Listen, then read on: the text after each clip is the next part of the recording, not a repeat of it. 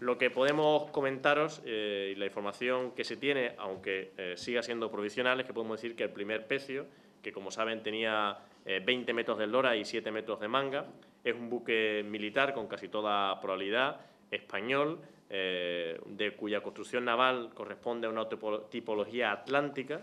Los restos de la arquitectura naval conservada como los restos de los materiales hacen presuponer que estábamos ante un navío del siglo XVII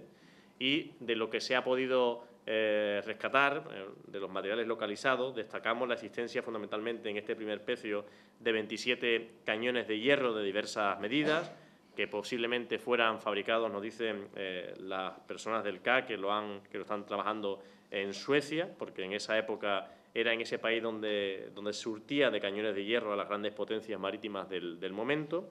23 lingotes de plata de, distintos eh, tamaños y formas, algunos de ellos procedentes de México y de otros eh, distintos también de otros sitios, Potosí, parece que también nos decían. Indicar que algunos de los lingotes localizados parece que podían venir de contrabando porque no tenían el sello, el quinto real, que indicaba el pago del impuesto pertinente. También se han encontrado diversas pesas de plomo, un pequeño ponderal de oro, cerámica variada, un astrolabio de bronce que era usado para los navegantes, como saben, para determinar la hora mediante la observación de las estrellas, balas de cañón, dos anclas de hierro, diversas horas de cuero, así como restos óseos, en todo ello en un contexto, como decíamos, de fango muy arcilloso. Esto es el primer pecio. Y en el caso del, segundo pecio, se corresponde, se corresponde con restos de un navío de 27 metros de lora y 7 metros de manga, cuya construcción naval eh, es de construcción de tradición mediterránea. Se trata en este caso de un buque, parece comercial, que estaba fondeado en la bahía de Cádiz efectuando su actividad comercial. En concreto, estaría cargando sus bodegas con diversos productos, entre los que se encontraban, eh, como ya hemos comentado en otras ocasiones, productos americanos para su distribución. Eh, y tanto por los restos de arquitectura naval eh, como los restos de materiales localizados hacen presuponer que era un navío, en este caso, del siglo XVI. Entre los materiales que hemos encontrado,